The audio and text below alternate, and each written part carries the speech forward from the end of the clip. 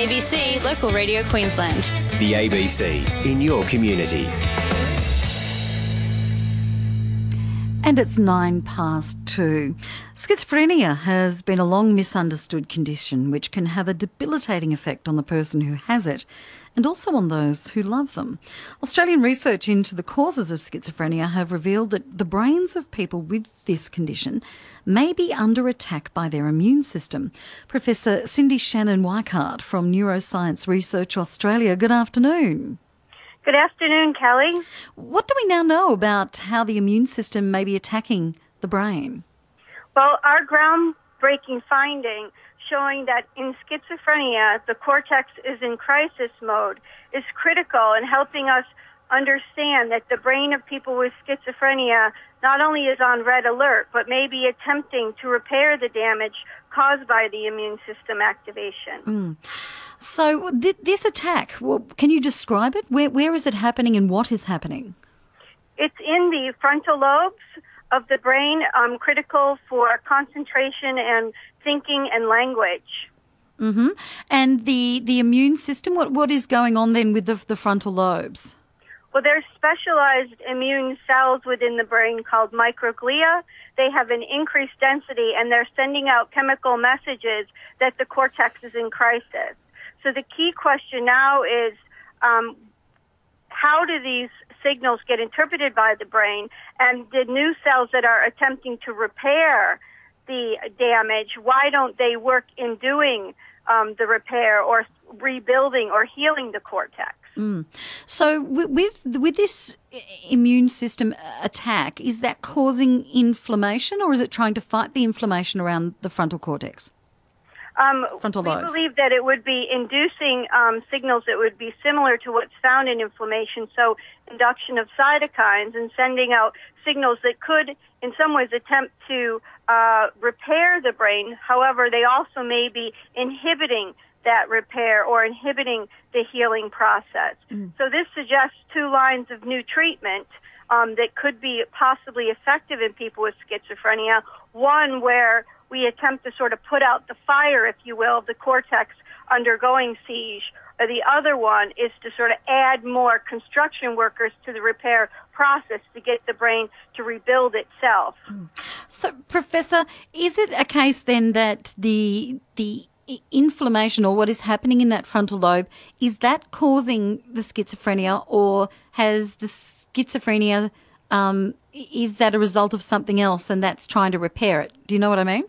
Yeah, I know Yep. exactly what you mean. So, um, one of the things that we know is there's not just one cause of schizophrenia, that there could be multiple causes, both genetic and environmental. And one of the lead genetic candidates actually is in um, a region of the genome that harbors many immune related genes and is important for normal immune function. So, there's a genetic link. There's also an environmental link where viral exposure or early inflammation, be it in utero or in childhood, can increase the risk of schizophrenia. It's almost like the immune system could be primed. There's also other independent evidence that the brain could be making um, or the body could be making antibodies to brain proteins and then thus attacking the brain. And that suggests that immune-based therapies could be um, effective in dampening down that cortex that's in crisis. Do we know why why that particular area of the brain as opposed to any other area? Well, we don't think that it's specific necessarily to that one area of the brain. That's eh, where we've uh, focused our attention. But when we actually look in other areas of the brain, we also find evidence of um, abnormality. So, you know, when you actually are studying things at the cellular molecular level, you have to put a certain focus and drill down um, to be able to uh, compare uh, regions across brains. But we don't think that it's necessarily specific to just one cortical area, but in fact maybe widespread. Yeah.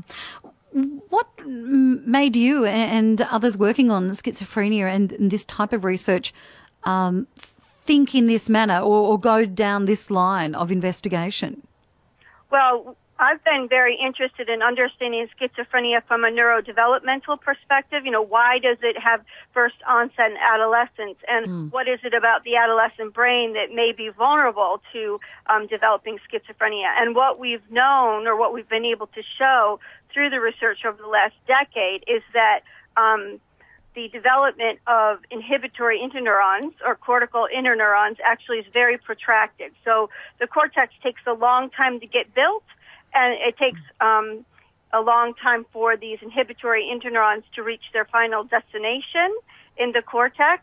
And so what we think actually is that these new neurons that are um, coming in to attempt to do the repair are these very same neurons that take a long time to develop, and that may be why one of the reasons why it um, overlaps in time with adolescence. But in terms of the clues, why would it be neuroinflammation? Yeah. Was a discovery driven approach. So we basically were looking through using new technology um, in, with collaborators in Queensland, actually, a new technology that's called next generation sequencing that allowed us to look at all of the genes in the brain at once with greater sensitivity than ever has been applied before. Hmm. And that's what led us down the path of identifying these immune modulators that are greatly upregulated in the brains of people with schizophrenia. So kind of a combination of approaches in thinking about what's happening in development and then a discovery driven approach about you know what signals could be there that we maybe didn't have a hypothesis about before. Mm. uh, with the research you found that 40% of people with schizophrenia had this increased inflammation. Um, with with the other 60% then do do we have any idea what is happening with them? Well, um, that's a good question, and uh, I believe that some people actually have a risk for schizophrenia because they don't respond normally to the adolescent increase in sex steroids. So mm-hmm. we've got a clinical trial running now that actually stimulates the sex steroid receptor, and we're seeing if that is effective for people with schizophrenia. It's interesting, isn't it? And and what about then genetic predisposition? If we know this down the track, would we be able to maybe um, keep an eye on adolescents who have a history of schizophrenia in their family, and to be able to see where their levels were at, and you know, give them a hand in, in years to come, to, you know, to be able to help them uh, bump up their levels or whatever needs to be done? You're very perceptive, Kelly. That's absolutely the direction that we would want to head.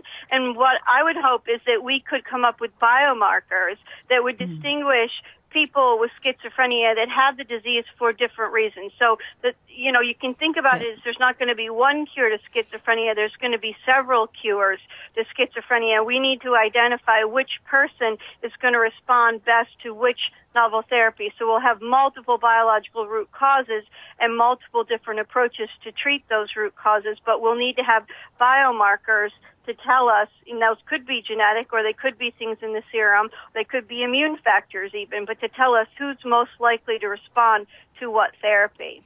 All right. Well, as I say, it's fascinating research, and uh, anything that uh, helps people with schizophrenia, such a debilitating condition, um, can only be a good thing. Thank you so much. Well, thanks for your interest and have a nice day. Professor Cyndi Shannon Weickert, who is from Neuroscience Research Australia, and they've been looking into the causes of schizophrenia and have found that uh, the brains of people with this disease, for 40% of those uh, that they looked at, there was increased inflammation in, uh, in part of the brain. So uh, let's hope that that helps find uh, ways of either dealing with that condition or stopping it in its tracks when uh, our children be- get into their adolescence.